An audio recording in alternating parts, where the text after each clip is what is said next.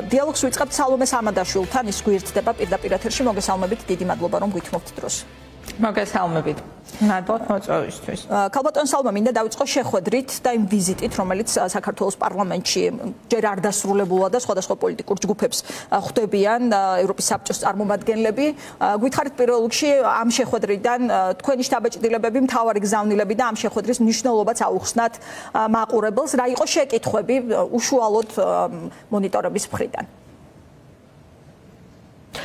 ანუ პირველ რიგში რომ ავუხსნათ მაყურებელს ეს არის ევროპის საბჭოს დელეგაცია ანუ ეს არ არის ევროკავშირის ინსტიტუცია მაგრამ რა თქმა უნდა ჩვენ როგორც წევრებს შესაბამისად ევროსაბჭოსი გვაქვს ვალდებულებები აღებული და ხშირი ასე ვთქვათ ძალიან დიდწილად ეს ვალდებულებები რაც ჩვენ გვაქვს აღებული ემთხვევა შეიძლება ითქვას მათი შინაარსი იმ მოთხოვნებს, რაც აქვს ევროკავშირს ჩვენი გაწევრიანების სტატუსთან მიმართებაში. ამიტომ ის შეფასებები, რასაც ეს მონიტორინგის კომიტეტი აკეთებს, არის ძალიან მნიშვნელოვანი, იმიტომ რომ გარკვეული სახელმძღვანელოა შემდეგ უკვე ბრიუსელისთვის, როდესაც გადაწყვეტილებებს მიიღებს.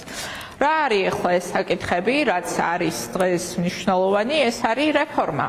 ის რეფორმა, რომელსაც მრავალი წელიწადია ჩვენგან ითხოვენ, რაც შეეხება სასამართლო სისტემის რეფორმას, ანტიკორუფციულ რეფორმას, დეპოლარიზაციას, დეოლიგარქიზაციასთან მიმართებით შესაბამისად, ასე ვთქვათ, ნაბიჯების გადადგმას და ასე შემდეგ. ამიტომ ეს შემფასებელი მისია აგროვებს ინფორმაციას, ანუ ცდილობს რომ გაარკვიოს ქვეყანაში რა ხდება და ამაზე დავაზუსტებს იყო თემები, რაც ჩამოთვალეთ, რასთან დაკავშირებითაც მათ თავად დასვეს კითხვები, თუ თქვენ შეესთავაზეთ მასეს როგორც მათეს როგორც საუბრის თემა, რადგან კითხეთ აი რა კითხვები და მათი ამ ამ ვიზიტის ფარგლებში მათთვის თავარი საკითხი ეს იყო 12 პუნქტთან დაკავშირებით ინფორმაციის მიღება, ხო? იმიტომ რომ ეხლა ყველას ესმის, რომ რეალურად ქართული ოცნება რასაც არ უნდა ისაუბრებოდეს თავის პროპაგანდისტული მედიას საშუალებებით ან ხალხის მოტყუებას როგორც არ უნდა ცდილობდეს რეალობა რაც არის ხო იციან მათ შორის ამ დელეგაციის წევრებმა. ახლა მაგალითად შემიძლია მოგიტანოთ რომ მათი ერთ-ერთი შეკითხვა ეხება დეოლიგარქიზაციის კანონს ხო? იმიტომ რომ ქართული ოცნება ატყუებს საზოგადოებას რომ თითქოს ამასთან დაკავშირებით მწوانه შუქია უნთო ვენეციის კომისიამ. და სინამდვილეში ვენეციის კომისია, რომელიც არის სწორედ ევროსაბჭოს ასე ვთქვათ ორგანო, ვენეციის კომისიამ დაწერა ძალიან კრიტიკული დასკვნა. ამიტომ მათ აინტერესებთ აპირებენ თუ არა ამ კანონის უკან გაწევას მართველი გუნდი, ანუ აპირებს თუ არა რომ შეცვალოს მიდგომა, თუ აპირებს რომ დეოლიგარქიზაციის მოთხოვნა ასე ვთქვათ, გამოიყენოს პიროვნული დევნისთვის კონკრეტული ადამიანების. იმიტომ რომ პირდაპირ ესე დაისვა საკითხი. ანუ ვენეციის კომისიის შეფასება რო ისმოდეთ ჩვენს სმენელს. პირდაპირ ამბობს, რომ კანონი, რომელიც მიიღო ქართულმა ოცნებამ, არის არადეოლიგარქიზაცია. არამედ ეს არის დევნის საფუძველის შექმნა კონკრეტული პირების დევნის შეკითხვა დგას ესე აპირებენ თუ არა რომ? აპირებენ თუ არა გაწევას აი ეს კითხვა აპირებენ თუ არა რომ ამას დაისვა დღეს ასე რომ გაწევაზეც ხომ არ იქნება საუბარი. აი თქვენ ამბობთ რომ მოცნება ცდილობს მოწყოს საზოგადოება რამდენად გამოსტის მას ეს პარტნიორებთან. რადგან დღეს თქვა თითქვა ისიც რომ ყველაფერი შესრულებულია ორი პუნქტის გარდა. აი როგორი აღქმა შესრულებაზე ამ პუნქტების ზოგად სურათზე? აი რეალურად ისინი როგორ ხედავენ სურათს რეალობას ამდენ აღიქვამ ხო ხო ეს ეს იყო ძირითადად მოსმენის ასე ვთქვათ ფუნქციით არის ხალხ ჩამოსული როგორ აფასებს ვითარებას ეს აისახება მათ ანგარიში და ასევე ევროკავშირი ანუ არა ევროსაბჭო არამედ ევროკავშირი ბრიუსელი უახლოეს მომავალში გამოსცემს ანგარიშს შუალედურ ანგარიშს. არ ვიცი საჯარო გახდება თუ არა მაგრამ დარწმუნებული ვარ რომ ასე ვთქვათ, წევრი სახელმწიფოები მაინც გაეცნობიან ეს დახურულიც რო იყოს ეს დოკუმენტი და იქ ჩაიწერება რას აკეთებს და რას არ აკეთებს ევროკავშირი. ჩვენ რა შეგვიძლია დანამდვილებით ვთქვათ, არის ის, რომ დღეს ბრიუსელში არსებული აზრი არის, რომ დღეს რო იღებდეს გადაწყვეტილებას ევროპული საბჭო, მათ არ აქვს შესაძლებლობა, რომ გასცენ პოზიტიური სიგნალი, იმიტომ რომ მოთხოვნებიდან არ არის შესრულებული არაფერი, რაც არის მნიშვნელოვანი და ერთი რამე და ასევე ანუ სურათი, სწორედ ამას გეკითხებოდით. არაფერია შესრულებული, უმნიშვნელო პროგრესი მაინც არის, რასაც რაზეც შეიძლება მიუთითოს ხელისუფლებამ. აი მაგალითად სახალხო დამცველი არჩეული, ანუ ფორმალურად მაინც რაღაცეები არის თუ არა, მიიჩნევა თუ არა შესრულებულად. აი მაყურებელმა რომ მიიღოს კიდევ ერთხელ ზუსტი სურათი, რომ სამომეთ რომ არ არის ეს ჩემი, ხო. ეს ჩემი სათქმელი არ არის ევროკავშირი როგორ შეაფასებს არა მე არ გეკითხებთ ევროკავშირი როგორ შეაფასებს. თქვენ თქვენ როგორ ფიქრობთ როგორც პოლიტიკური აქტორი? აი მაყურებელს მე მე შემიძლია გითხრათ.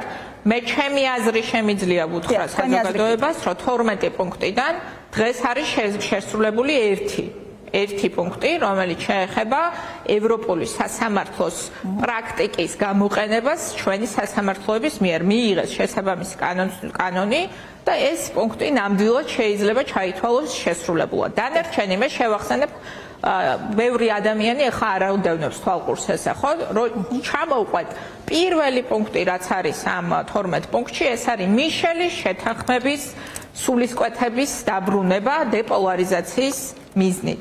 ანუ მიშელის შეთანხმება რო შეესრულებინა ქართულ ოცნებას და არ დაეხია, როგორც ეს გააკეთეს, ჩვენ შესრულებული გვექნებოდა არა მხოლოდ პირველი პუნქტი, არამედ ბევრი სხვა პუნქტიც, იმიტომ რომ ამ შეთანხმებაში საარჩევნო კანონმდებლობის ცვლილება, კონსტიტუციური ცვლილებების შესაბამისი სასამართლო რეფორმა, ბევრი სხვა საკითხიც იყო, ხო, ასე ვთქვათ, განხილული. ამიტომ მე ჩემ შეფასებას გეუბნებით.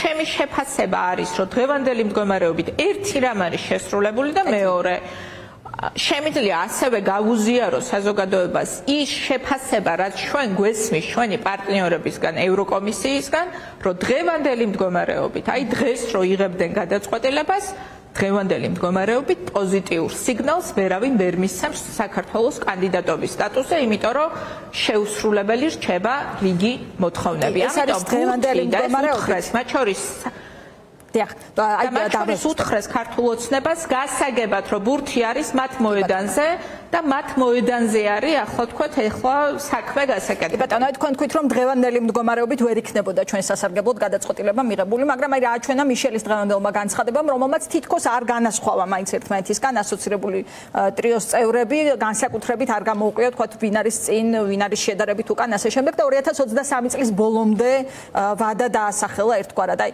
რა თქვა ამ განცხადებამ ეს მორიგი შანსის მიცემა და აღვიქვათ თუ შესაძლოა თქვა დისტანცია გაიზარდოს რეალურად? არა, ეს ეს განცხადება განცხადება არასწორად იქნა აღქმული, უბრალოდ უნდა გესმოდეს ევროკავშირის ზენა, რომ ეს განცხადება სწორად ჩაიწაიკითხო და როგორც ჩანს, სწორად არ იქნა წაკითხული.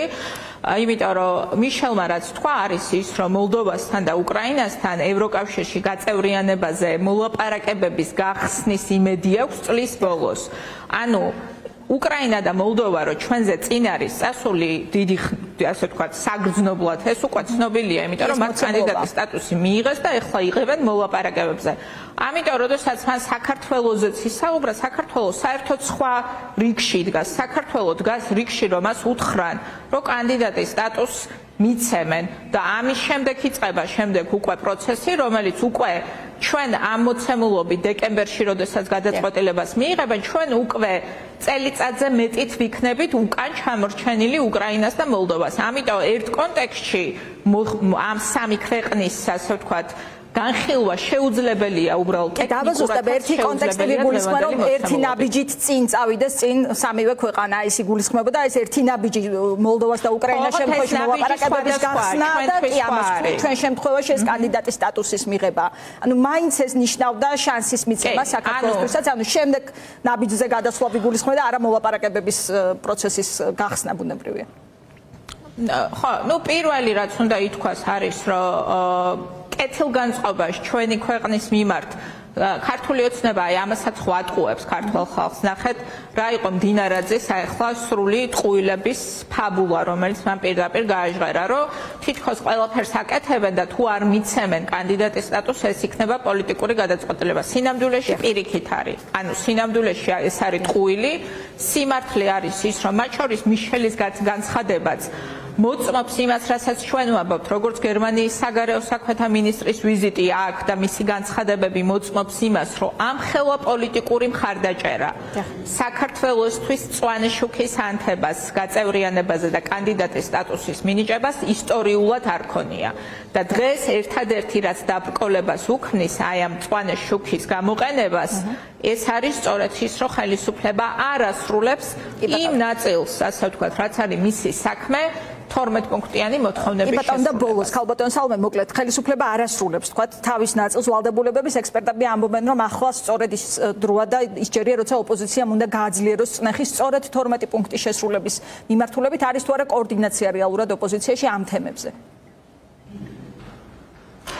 ხო, ნუ ახლა ჩვენი პოზიცია, ლელოს პოზიცია არის ცხადი, ნახეთ ამაზე. პირველი დღეს ჩვენი საზოგადოების დაკვეთა, აი პირდაპირ რასაც იმპერატიულად ითხოვს ხალხი, არის რომ ჩვენ მივიღოთ კანდიდატის სტატუსი. ამიტომ ჩვენი წინადადება არის, რომ შევქმნათ კოორდინაციის საბჭო, იქნება ეს არასამთავრობოებისგან ძირითადად და ასევე პოლიტიკური მოთამაშეებისგან, ვინც არის ევროპული დღის წესრიგით დაკავებული, შევქმნათ კონკრეტული მოთხოვნების და კონკრეტული წნეხის მექანიზმი ხელისუფლებაზე სწორედ ამ მოთხოვნების შესრულების მიზნით.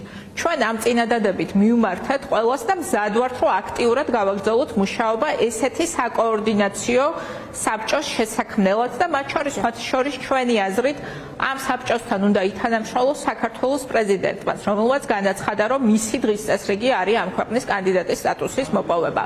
ჩვენ სიცხადე უნდა შევქმნათ, რას ველოდებით ხელისუფლებისგან, რას არაკეთებს და რას უნდა აკეთებდეს. ეს არის ჩვენი პოზიცია. ეხლა ვიღაცას აქვს სხვა პოზიციები, ჩვენ კვეთრად ვემიჯნებით აი ესეთ მოთხოვნას, როგორიც არის მაგალითად ვადამდელი არჩევნების ეხლა მოთხოვნა, იმიტომ რომ პირდაპირ ვამბობთ, ვადამდელი არჩევნების მოთხოვნა ეხლა ეს არის პირდაპირ განაცხადი ევროკავშირისთვის გაგზავნილი გზავნილი რომ არც კი განიხილო კანდიდატის სტატუსის მინიჭება. ეს შედის მხოლოდ ქართული ოცნების ინტერესებში ამიტომ ჩვენ ამ მოთხოვნას არ ვიზიარებთ. ბატონო ვიცით ამ პოზიციის შესახებ დიდი მადლობა ქალბატონ სალომე. კიდევ ერთხელ რომ დაგვითმეთ დრო იყავი კომენტარის სტუმარი სალომე სამადაშვილი პარლამენტის წევრი ლელო საქართველოსთვის პოლიტიკური მდივანი გვერდებოდა პირდაპირ ეთერში